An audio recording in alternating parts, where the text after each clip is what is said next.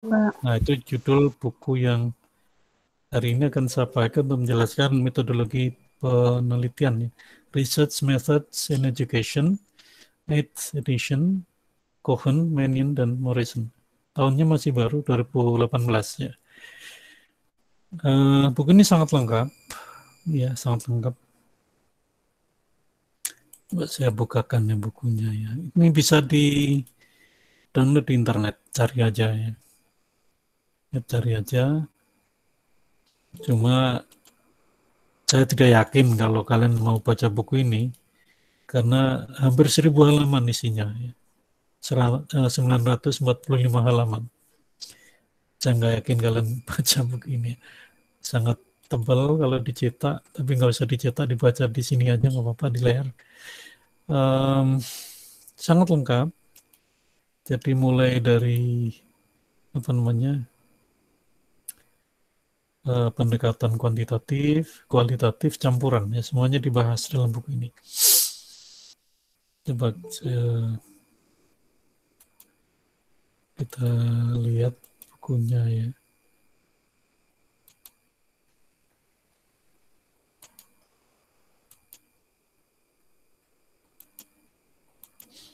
Nah ini, ini bukunya ya. Jadi nanti silakan kalau ingin membaca lebih jauh, mendalami soal metode penelitian, ini bukunya.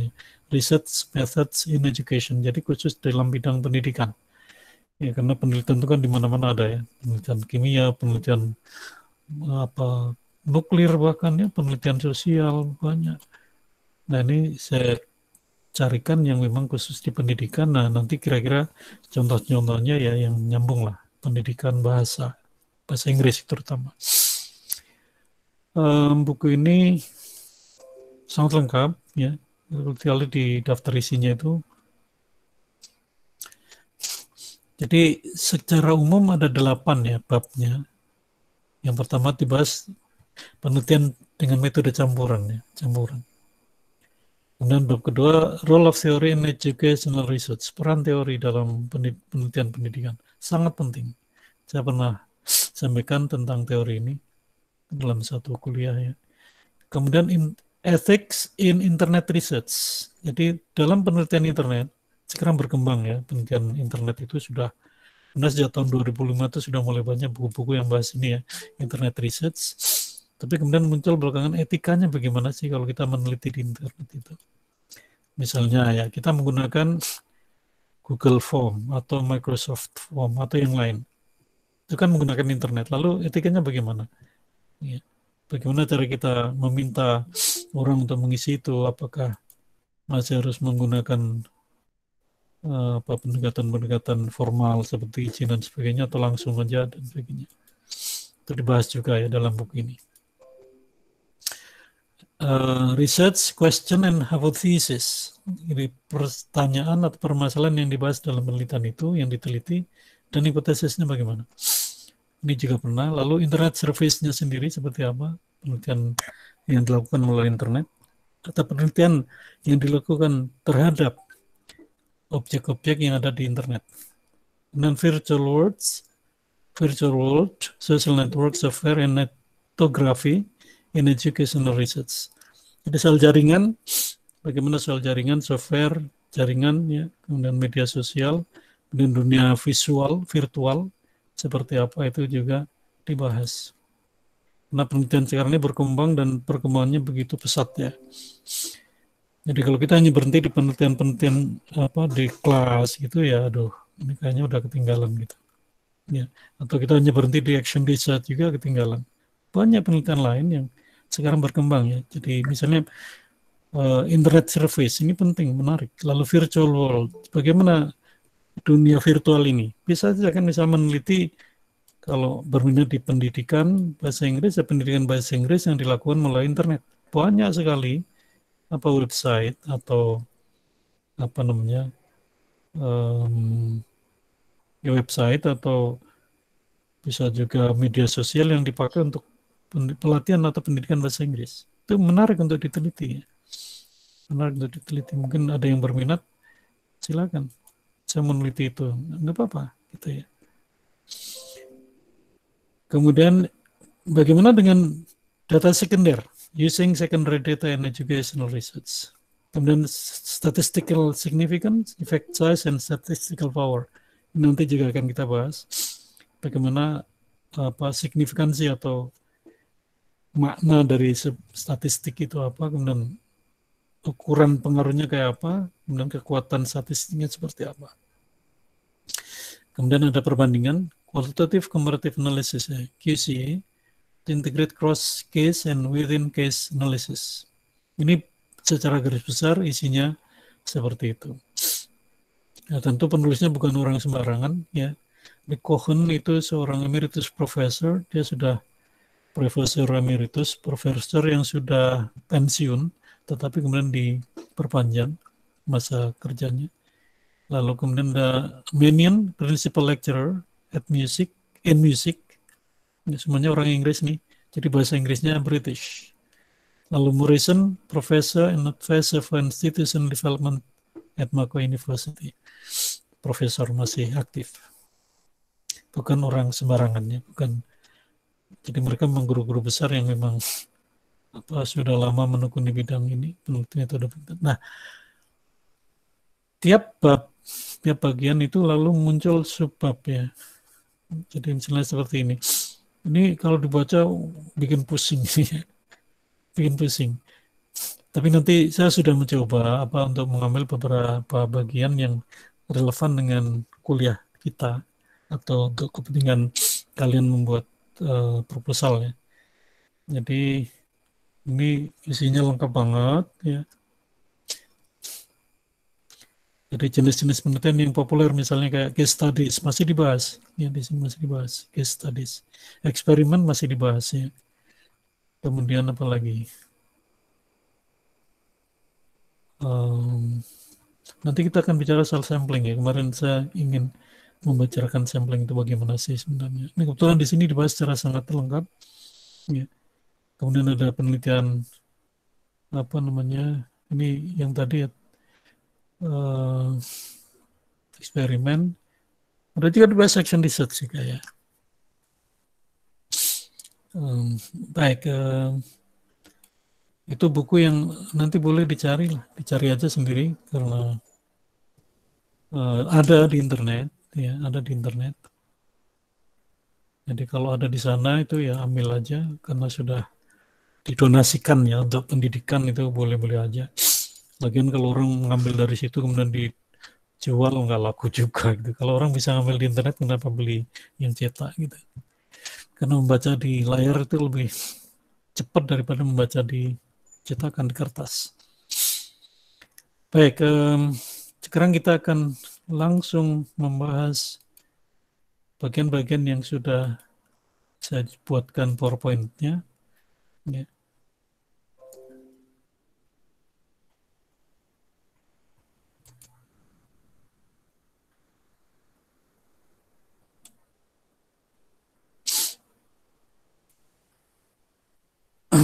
Jadi hipotesis pernah saya sampaikan coba ini karena penelitian kuantitatif itu selalu ya selalu meminta atau mensyaratkan adanya hipotesis.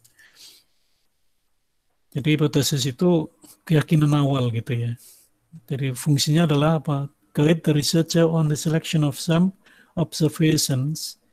Ya, jadi membantu kita hipotesis ini untuk memilih kira-kira pengamatan penelitiannya mau ke mana gitu um, di dalam buku ini ditulis dia mengutip dari Medawar ya Medawar ini selain ditulisnya 91 kemudian dikutip di bukunya ini halaman 13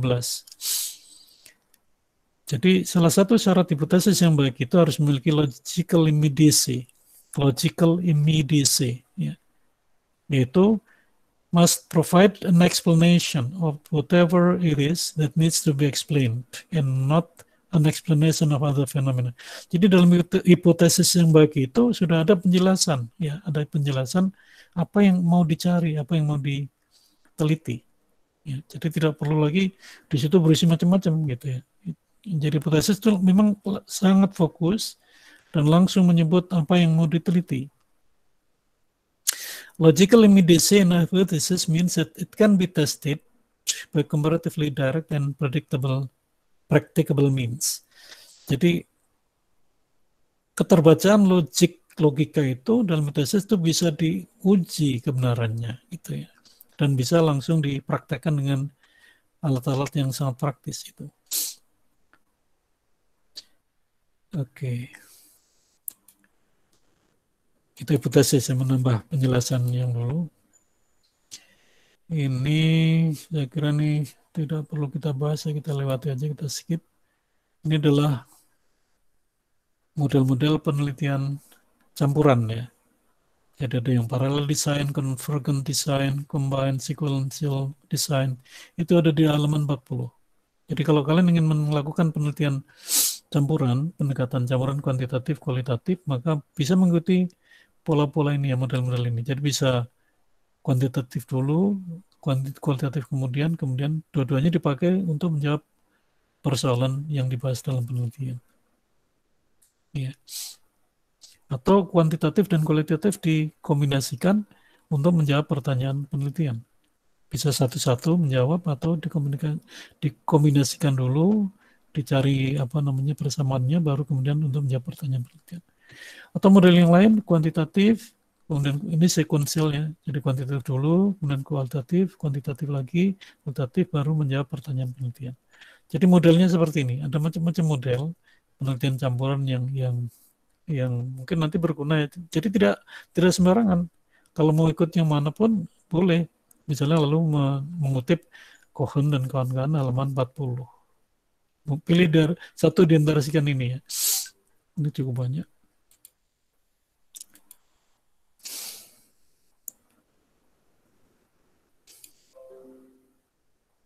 Oke.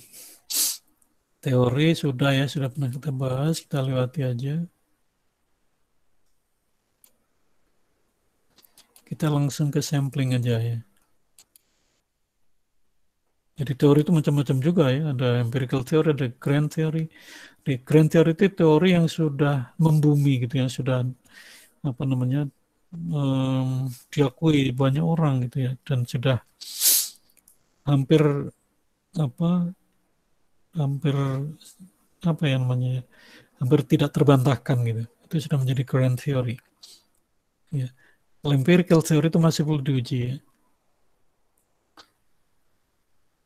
Misalnya hukum kalau di ekonomi itu ada hukum permintaan penawaran itu sudah grand theory. Kalau barang itu kebutuhan apa yang kebutuhan tetap ya kebutuhan tetap maka kalau persediaan atau penawaran itu turun maka permintaan juga akan uh, permintaan tetap, maka harga akan naik. Ya. Itu teori harga atau price uh, demand dan apa namanya offer ya uh, law gitu ya hukum keseimbangan harga itu sudah menjadi grand theory karena sudah diakui. Ada middle range theory ada teori di tengah yang tengah-tengah aja. Tidak termasuk lala dan normative theory. Macam-macam. Ada semuanya di buku itu. Ada grounded theory. Nah ini adalah contoh-contoh uh, metodologi ya metodologi penelitian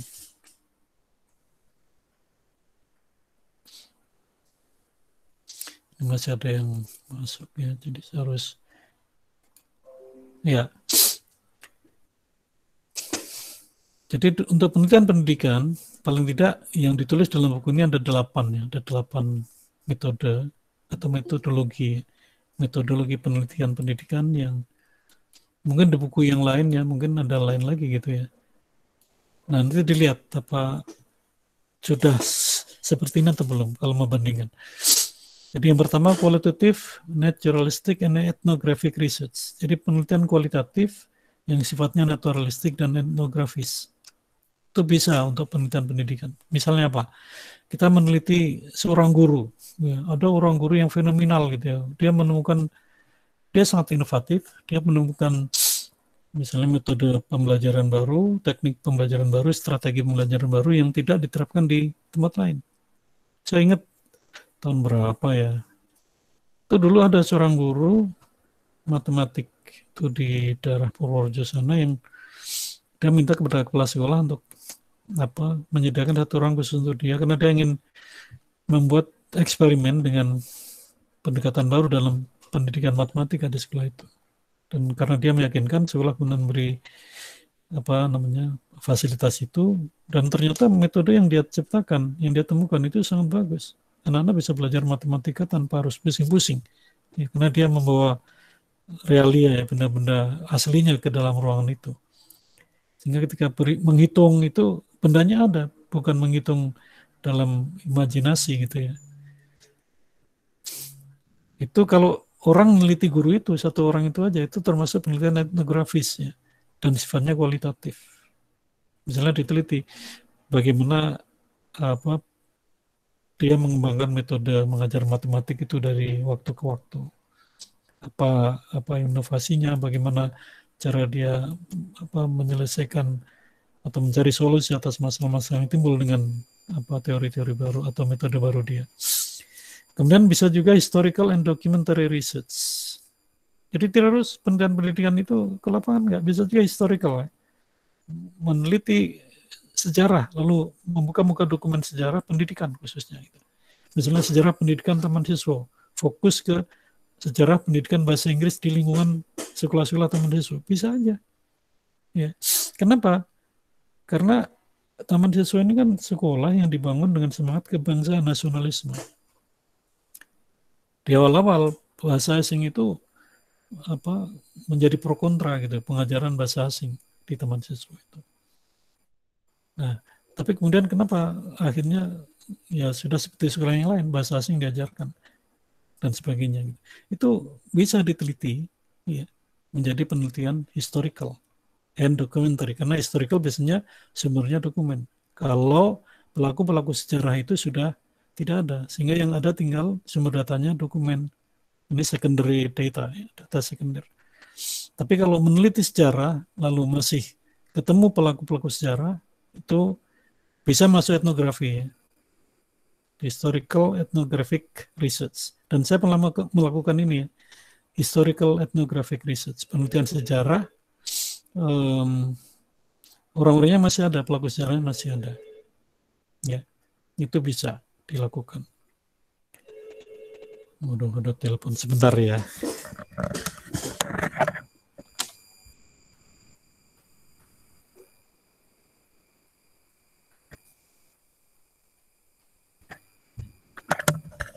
Oke, teleponnya udah berhenti ya sudah.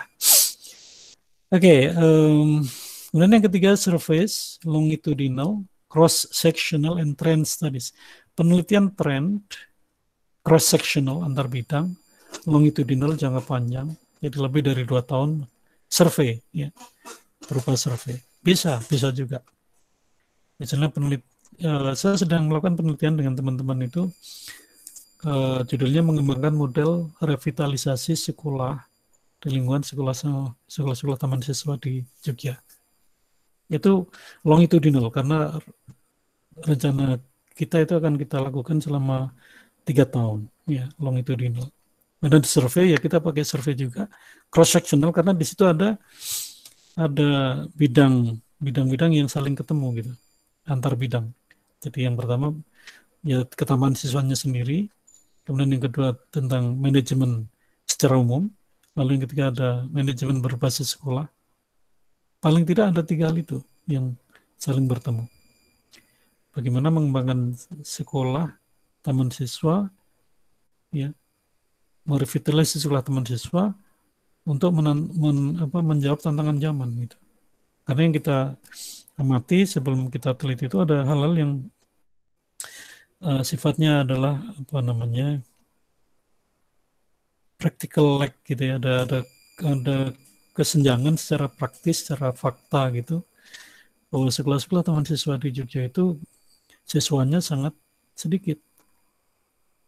Nah, padahal kita tahu bahwa sekolah-sekolah swasta itu akan berkembang pesat itu ada dua pilihan. Yang pertama dia didukung oleh modal yang besar Ya, jadi banyak sekolah-sekolah baru yang berdiri lalu sudah memiliki fasilitas yang sangat lengkap itu karena di belakangnya ada pemilik modal yang kuat gitu yang punya dana yang sangat banyak lalu dia investasikan atau dia tanamkan di sekolah itu.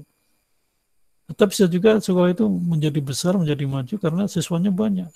Ya, jadi sudah sekian tahun berdiri, kemudian dia bisa bersaing secara akademik dan secara sosial gitu, sehingga dia mendapat pengakuan dari masyarakat. Lalu muridnya banyak. Nah, karena muridnya banyak, maka uang sumbangan pendidikannya juga banyak dan itu bisa dikelola dengan baik sehingga sekolah ini bisa menjadi sangat kuat.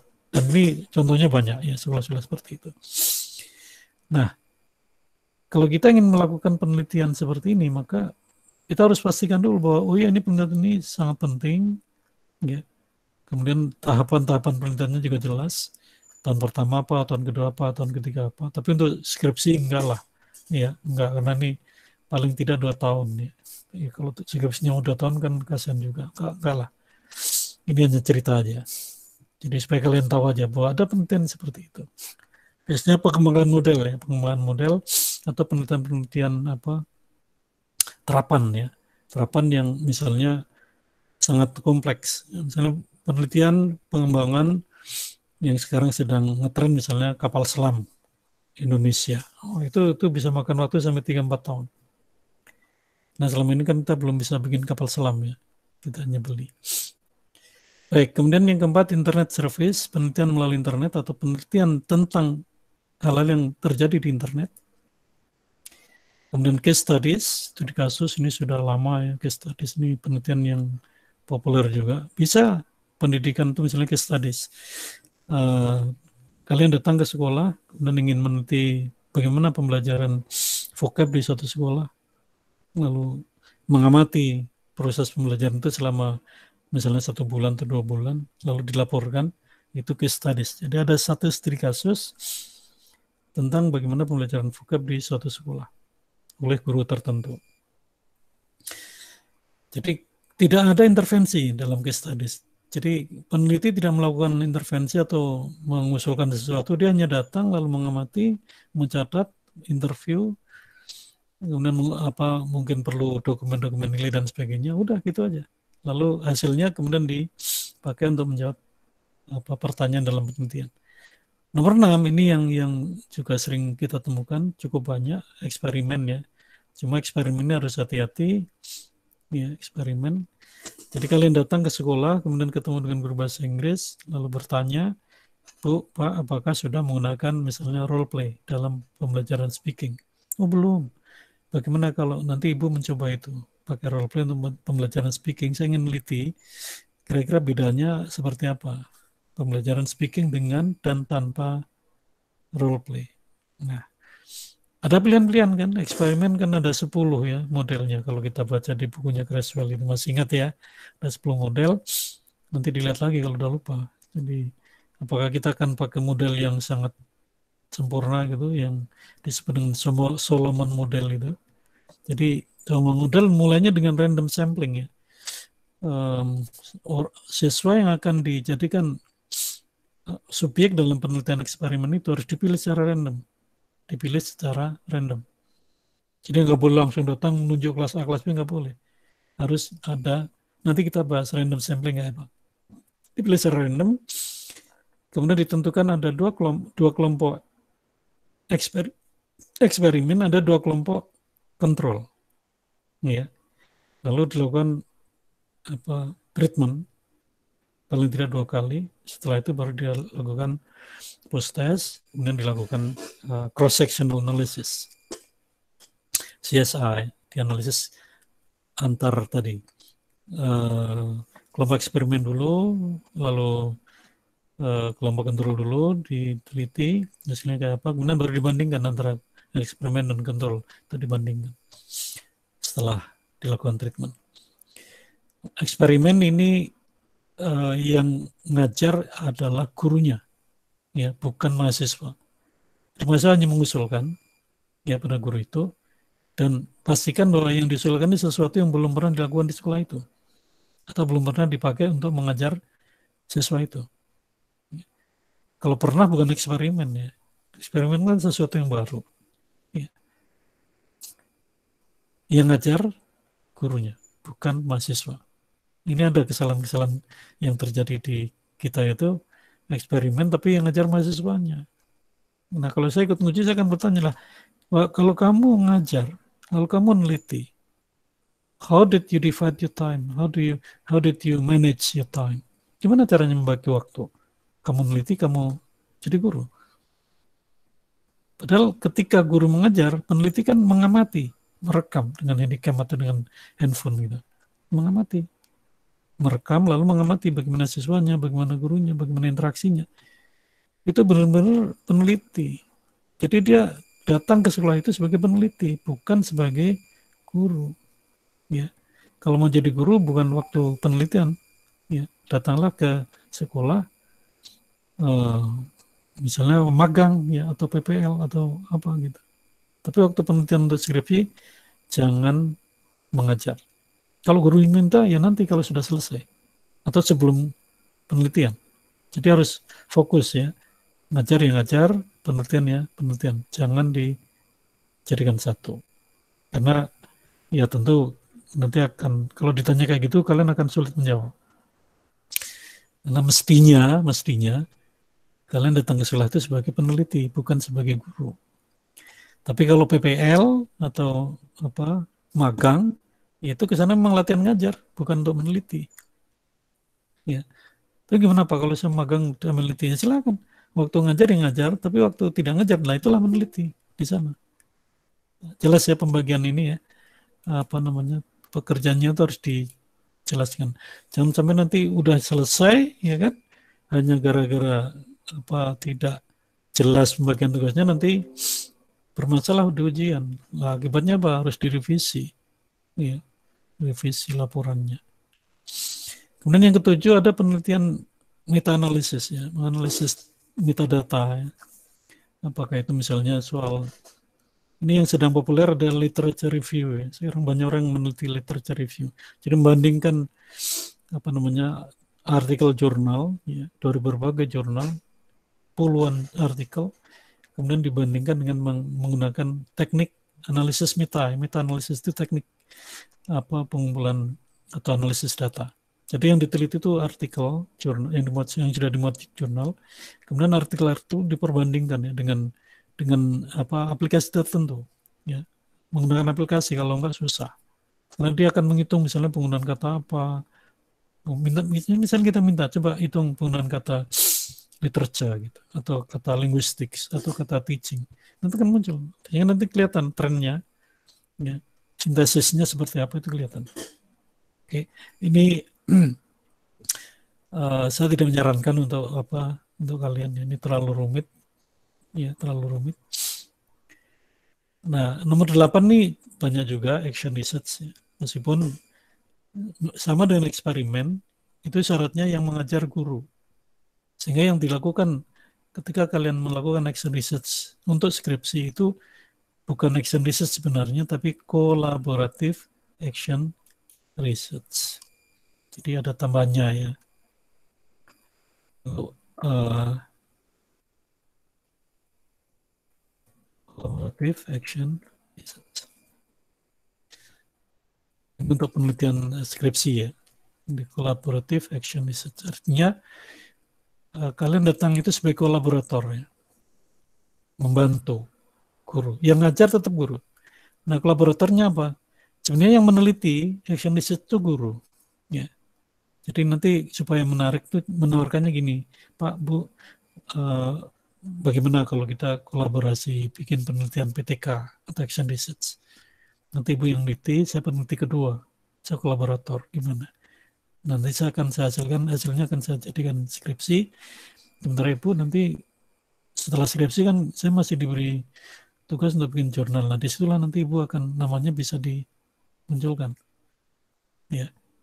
Kalau di skripsi nggak boleh muncul nama gurunya sebagai peneliti nggak boleh. Kita harus tetap nama mahasiswa ya. Meskipun ini yang harus di awal harus disampaikan ke guru itu. Bahwa tujuannya seperti itu nanti nama ibu akan muncul ketika ini akan terbit di jurnal. Ya. Pasti dia dia mau gitu ya dia mau. Atau misalnya nggak jurnal ya kalau di jurnal itu yang muncul kan mahasiswa juga kan dan pembimbing ya pembimbing jurnal tapi kalau misalnya mau gurunya juga dapat sesuatu Nah gini aja deh Bu, nanti ini laporan penelitiannya saya carikan hak cipta. Bisa laporan penelitian dimintakan hak cipta. Nah, nanti nama Ibu atau Bapak guru masuk di situ. Mereka pasti mau juga karena mereka mendapatkan sertifikat hak cipta. Dan itu sangat bernilai gitu ya. Di mana yang dipilih silakan. Jadi ini beberapa pilihan-pilihan metodologi yang yang sering dilakukan dalam uh, bidang penelitian pendidikan. Ini sudah pernah kita bahas ya, bedanya metode dan nah sekarang kita masuk ke sampling ya, ke sampling. Pembahasan kita tentang sampel, sampling ya. Itu ada ukurannya berapa seperti apa gitu kan. Kemudian kekuatan secara statistiknya kayak apa, kemudian kesalahan dalam penarikan sampelnya kayak apa, kemudian keterwakilannya, dan akses untuk mencari data ke sampel, strateginya, probability, non-probability, ini jenis-jenis sampelnya, ada probability sampel, ada non-probability sampel. Nanti kita bahas. Kemudian bagaimana sampling di penelitian kualitatif, bagaimana sampling di penelitian campuran, dan bagaimana merancang sampel. Nah, sampel size ya. Jadi ukuran ukuran sampel itu saya meneliti cukup ah, berapa ya Pak? 10 orang atau 20 orang, 30 orang. Itu banyak ya, banyak faktor yang mempengaruhi. Jadi tidak langsung bisa ya udah ambil aja 10 enggak, enggak bisa begitu. Coba perhatikan nih pertimbangannya. Yang pertama tujuan penelitian. Ya, tujuannya apa sih? Oh, saya ingin mengetahui kemampuan uh, reading siswa kelas 6 atau kelas 7 atau 8 Ya kalau gitu udah ambil aja satu kelas gitu. Karena sudah jelas di tujuan itu mengetahui kemampuan reading siswa kelas 7. Tapi ini bukan satu kelas, saya ingin mengetahui kemampuan reading siswa kelas 7 sekota Jogja. Nah, kalau itu berarti sampelnya tidak cukup satu kelas. Ya, tidak cukup satu kelas. Lalu bagaimana? Ya dihitung. Berapa sih jumlah siswa kelas 7 SMP di kota Jogja ini. Itu namanya populasi ya. Nah kalau sudah ketemu populasi misalnya 3.000 atau misalnya 30.000, lalu berapa besaran sampelnya gitu. Kalau 30.000 lalu berapa sampelnya gitu. Ada yang sudah menghitung, nanti saya tunjukin ya, ada tabelnya. Itu tergantung juga dari eh, apa, persoalan yang mau diteliti dan desain penelitiannya. Tapi kira-kira uh, dari tujuan itu sudah dapat gambarannya. Kalau ingin mengetahui kemampuan reading siswa kelas 7 SMP sekota Jogja, maka besaran sampelnya harus diperhitungkan karena populasinya jelas satu kota. Tapi kalau hanya tujuannya mengetahui kemampuan reading kelas 7 SMP ini ya di satu sekolah Nah, itu nggak usah pusing-pusing itu populasinya di sekolah itu, sampelnya di sekolah itu. Ini yang kedua kan. Jadi ukuran populasinya besaran dan sifat-sifat populasinya itu seperti apa. Sesuai SMP kelas 7 se-Jogja, katakanlah 20 ribu. Itu size ya. Lalu nature. Ini anak-anak nih kayak apa ini? Apakah mereka semuanya sama atau beda-beda atau bagaimana? Nietzsche itu nanti menentukan sampel juga. Kalau sifatnya misalnya oh mereka mirip itu nggak perlu banyak-banyak sampelnya karena ada unsur homogeneous factor, ada faktor persamaan antara mereka. Tapi kalau sifat umum mereka heterogenis, apa? Heterogen gitu, heterogeneous.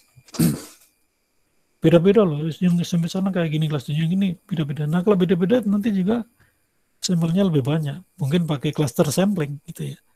Jadi nanti dari cluster cluster sampel yang misalnya dibedakan ada sekolah SMA negeri swasta uh, atau dibedakan berdasarkan akreditasi misalnya ada sekolah A sekolah B sekolah C berarti ada tiga cluster kan Nah, nanti dari tiga klaster itu kemudian baru diambil sampelnya.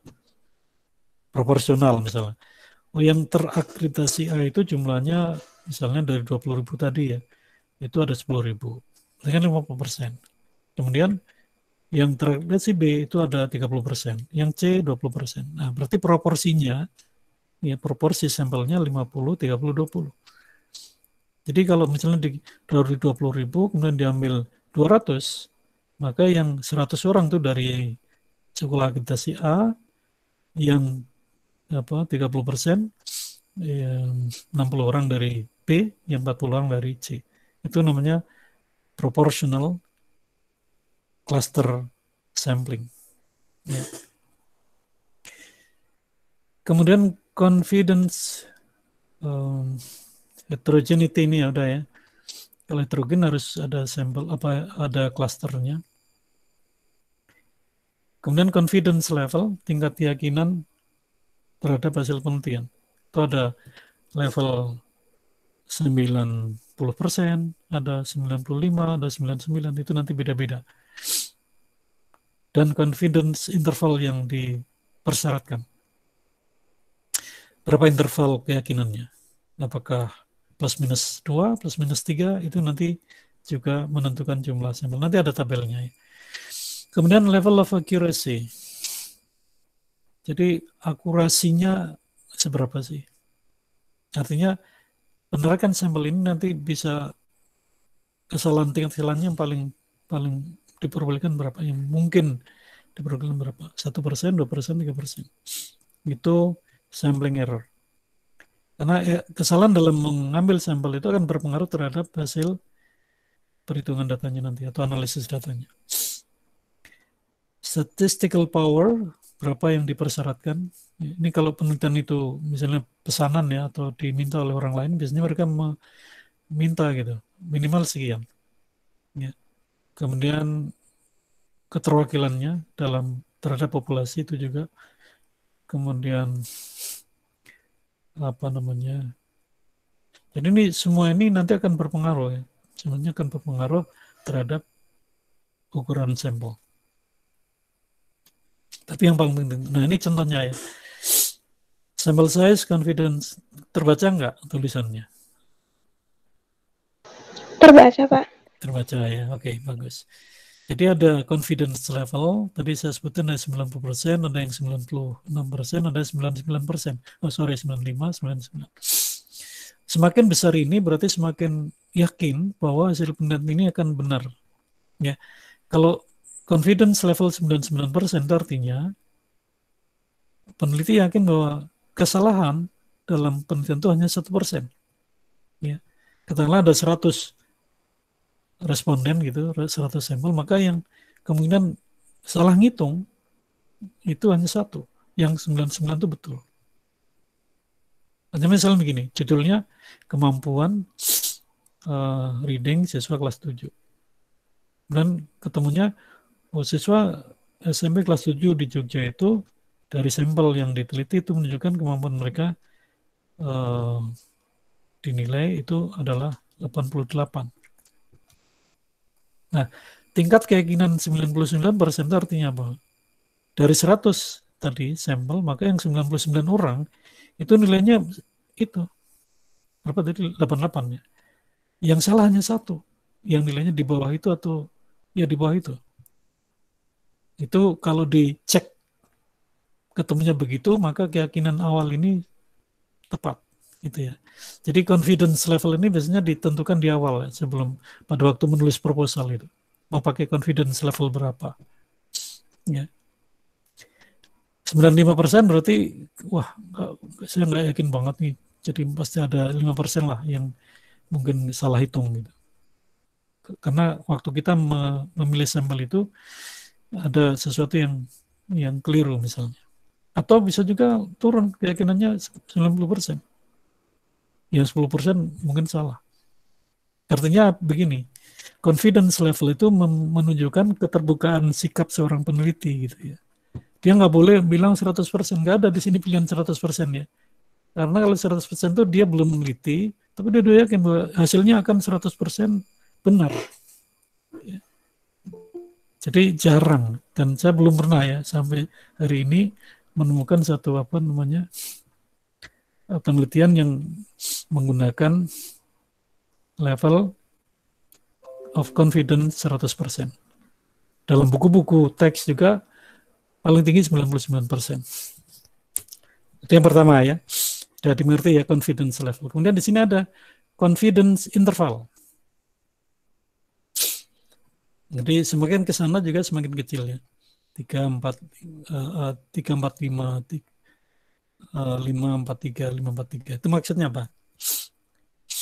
Jadi ada ada interval ada ada namanya kelompok gitu ya. Kelompok yang mentolerir gitu ya. Ditolerir misalnya ya itu 90% tuh ya bisa naik turun lah. Bisa naik. Kalau confidence interval 5% berarti bisa naik 5% bisa turun 5% artinya ada toleransi 5% plus 5% minus. Ya, artinya hasil penelitian itu nanti ya bisa 85% atau bisa 95%. Ya. Hasilnya gitu. Tidak persis 90% karena masih di ditambahin di sini confidence interval 5%. Kalau 4% berarti plus minusnya 4, 94 atau 86. 3%, 87 atau 93. Seperti itu. Kalau ini juga sama. Kalau di sini nanti kalau masanya terlalu rendah kan jadi 104% gitu ya. Jadi aneh gitu. Nah maksimal kan 100.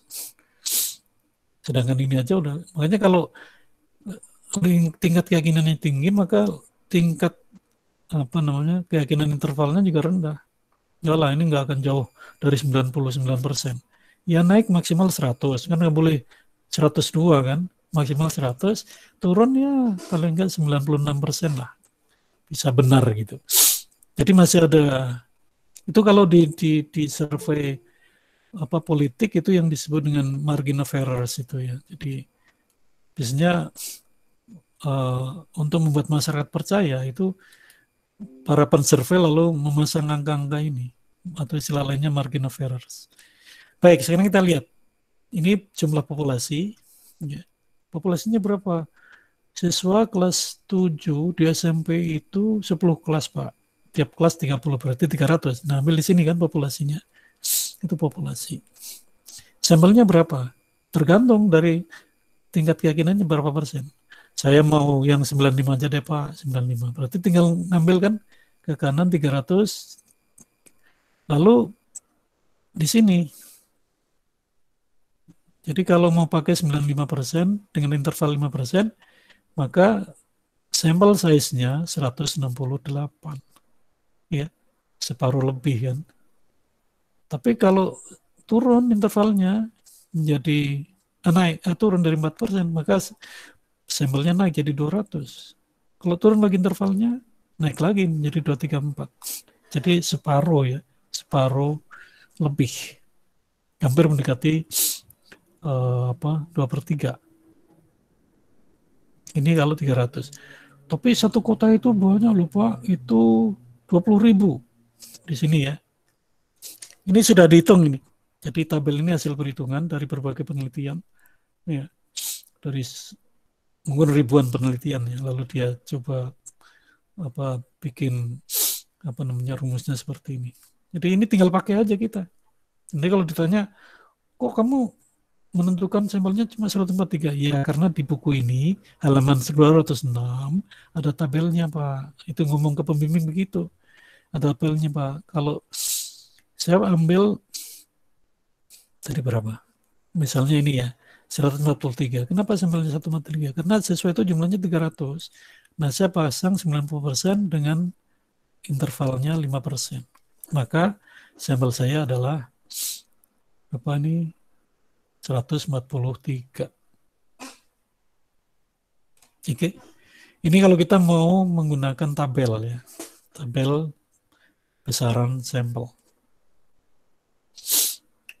Oke, silakan nanti di, di apa dicari ya di bukunya supaya oh ternyata nggak terlalu rumit ya menentukan sampel itu. Cuma masalahnya ini kan masih besar juga gitu loh. Kalau satu kelas diambil 27 tuh ya lumayan lah 30 lalu sampelnya 27 atau 28 atau 29 masih satu dua tiga orang nggak ikut tuh masih nggak masalah gitu. Tapi kalau besaran semakin ke bawah kan semakin besar nih populasinya ya. Semakin besar ini semakin menguntungkan karena besaran sampelnya nggak akan naik secara signifikan gitu. Ya. Kecuali kalau kita pasang keyakinannya tinggi banget 99% nah itu bisa di atas 1000 ini. Dan ininya maksimal, ininya maksimal ya 1840. Ya meneliti 1840 juga nggak gampang ya. Itu butuh ketelatenan, kesabaran dan waktu. Biaya juga. Ini penjelasan tadi sudah saya sampaikan ya. Jadi confidence interval itu itu plus minus ya. Jadi kalau kita melakukan polling pendapat untuk pilkada misalnya, kita menghasilkan oh pasangan A itu dapat 52 persen.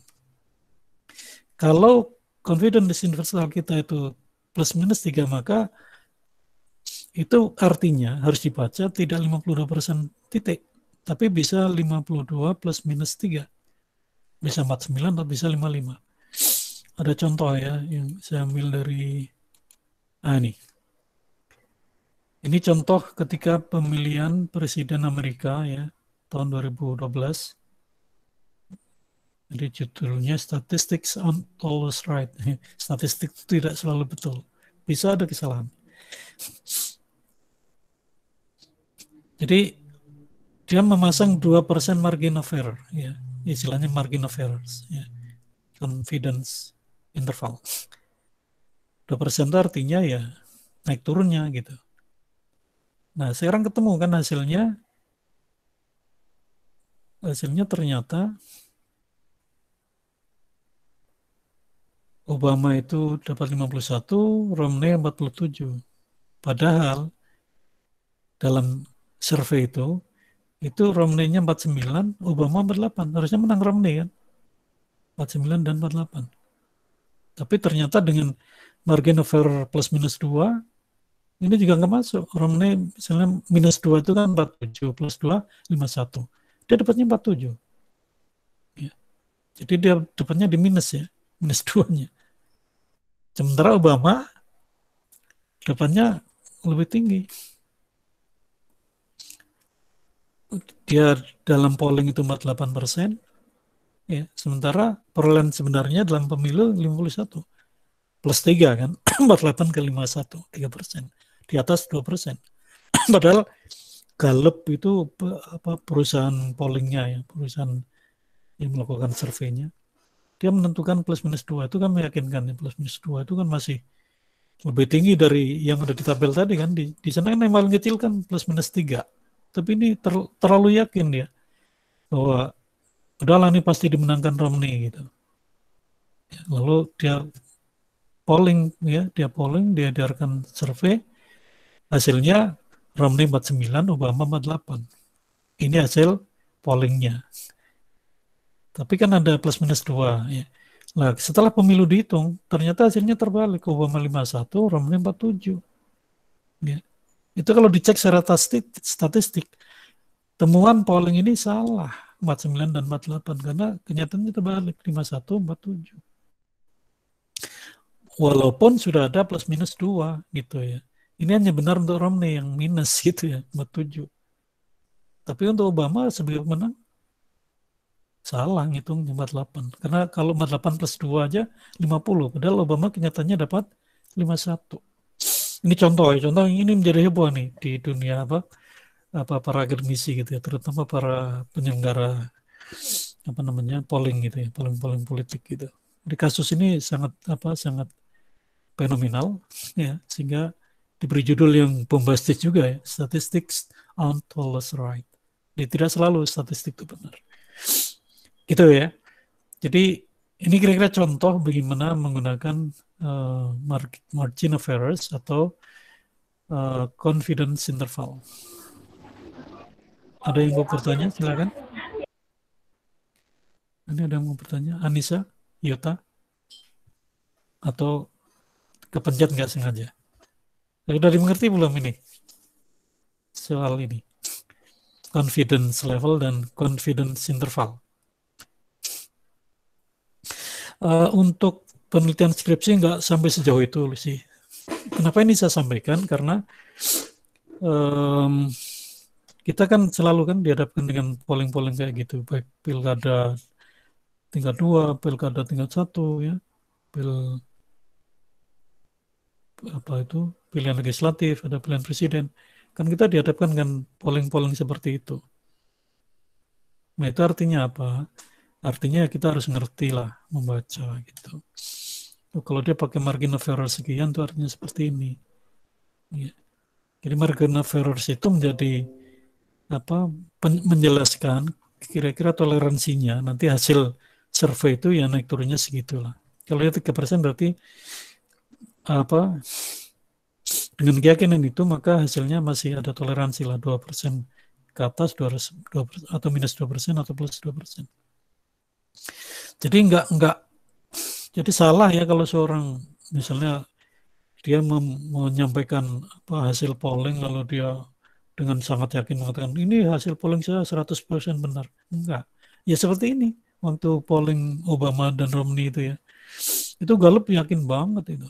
Udah ini sudah didukung berbagai macam dan tidak hanya satu ya surveinya yang meramalkan Obama mau menang itu. Eh, Obama kalah gitu. Romney yang menang.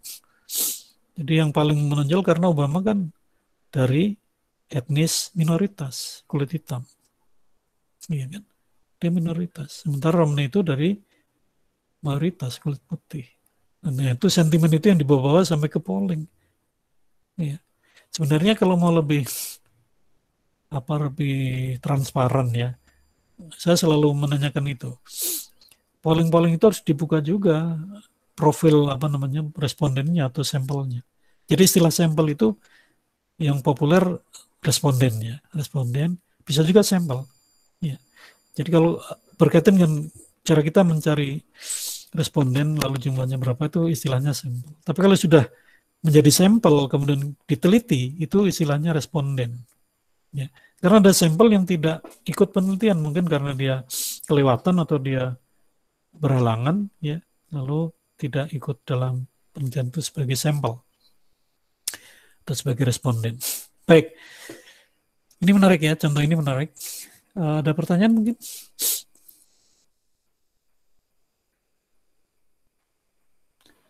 Belum ada, Pak. Belum ada ya. Bingung ya? Atau sudah jelas? Uh, sebenarnya masih bingung sih, Pak. Ya, kalau bingung tanya dong. Yang bingung di mana?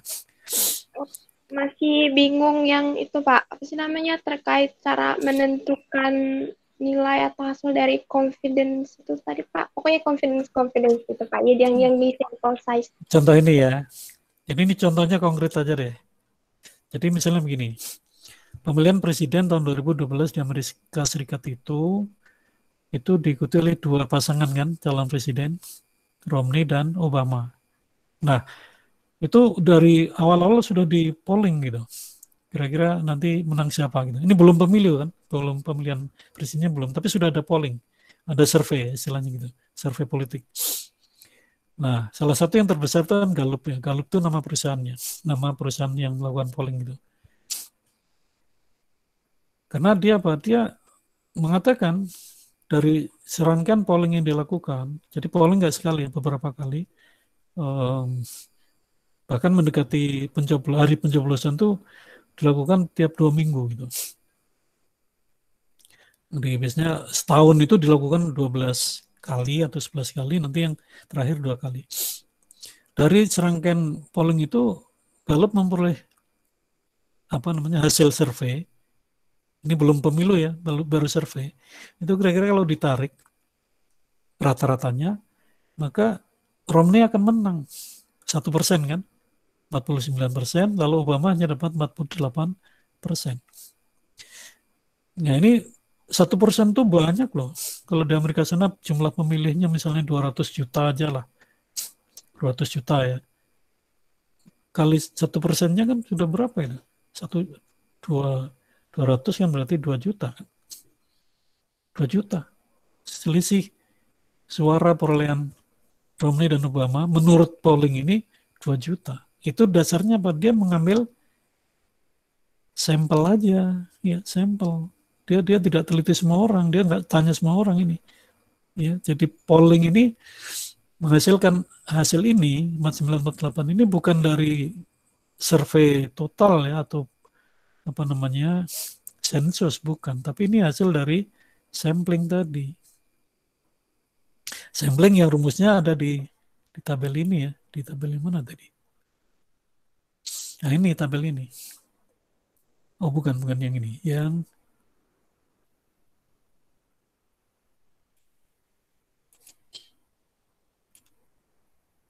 Nah yang ini. Jadi karena ini random, ya random.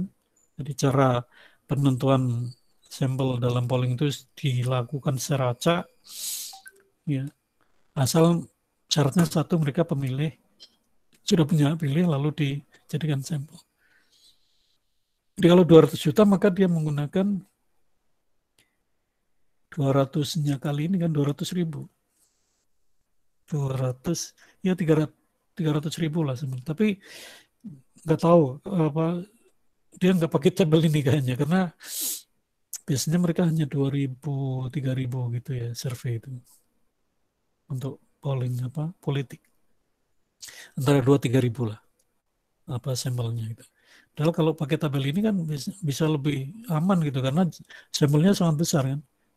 Sejuta aja udah uh, kalau 99 95 lah 95 persen dengan confidence interval uh, 5 persen itu sudah 384.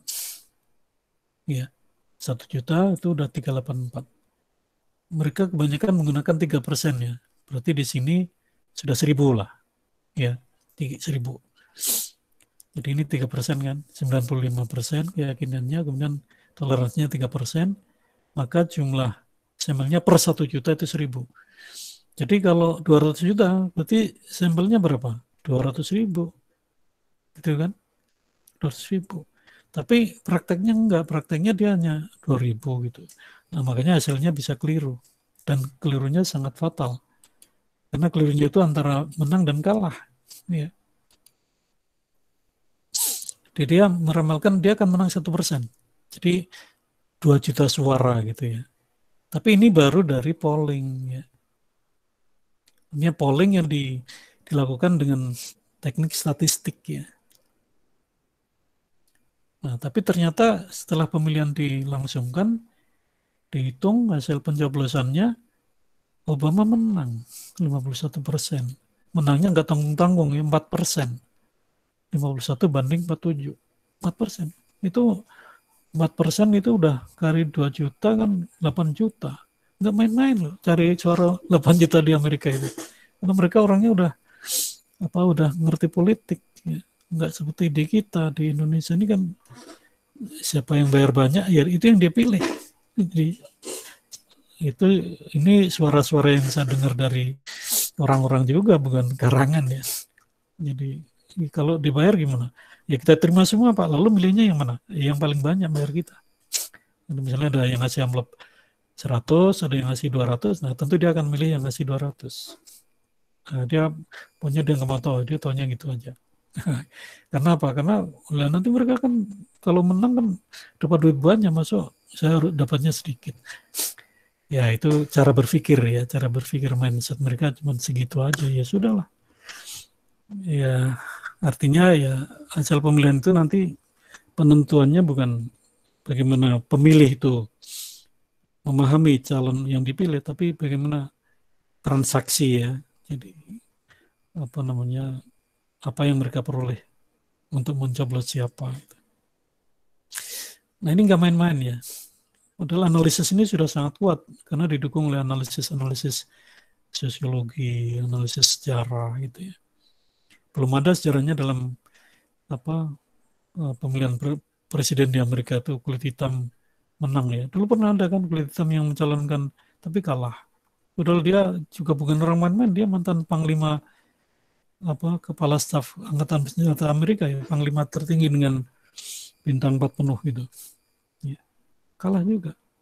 kalau masih ingat mungkin namanya Colin Paul itu pernah menjago dia mem, sebagai wapres bukan sebagai presiden tapi kalah juga karena sentimen apa namanya rasialnya masih sangat kuat.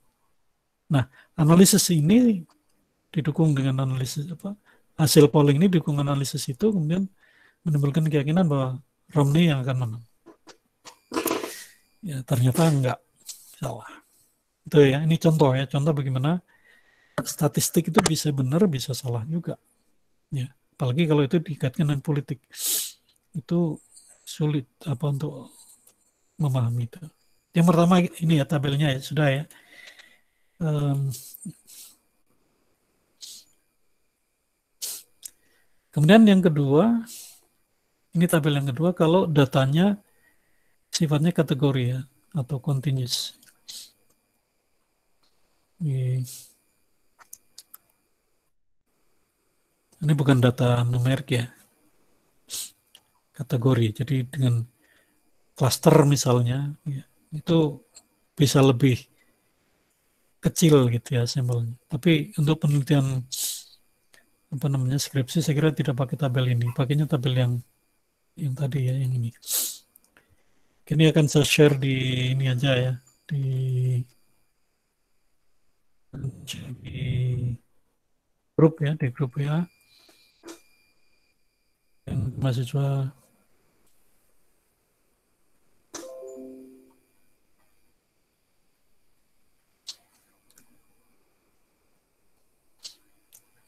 saya share di grup ya saja.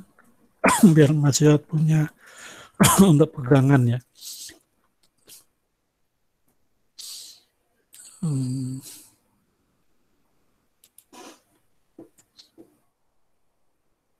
Modelnya saja, bukan bukunya. Bukunya uh, download sendiri ya.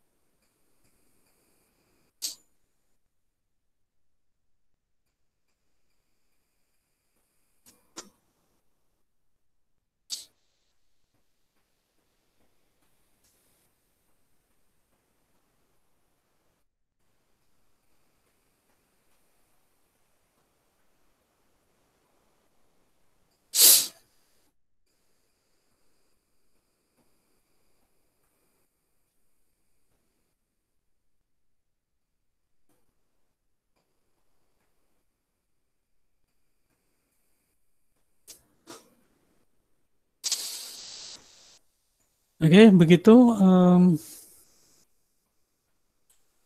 atau mungkin ada pertanyaan sebelum kita akhiri? Nanti. Ya, silakan Wibi. Enggak terkait ini sih Pak, terkait videonya gimana ya Pak? Gimana uh, video? Video apa? Selama, selama ini, selama perkuliahan. Ini kan sudah saya upload di YouTube kan? Di video rekamannya ya. Itu saya upload di YouTube, nanti dicek aja di grup ya. Itu saya nanti linknya kan ada di sana di grup WA itu. Ini nanti yang ini juga akan saya upload di YouTube. Linknya nanti saya bagi di WA grup ya, WA grup kelas. Oke? Okay? Baik Pak, terima kasih Pak. Oke. Okay. Ada yang lain?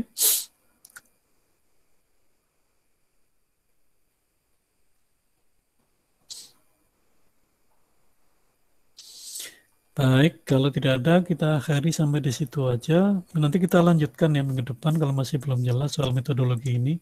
Kan memang belum selesai ya. Jadi satu-satu. Soal sampel sudah ya. Nanti kalau masih belum jelas minggu depan silakan tanya soal sampel ini dengan judul masing-masing ya. Uh, uh, jangan judulnya orang lain, pakai judulnya masing-masing. Oke, okay, thank you. See you next week. Thank you. Thank you. Thank you.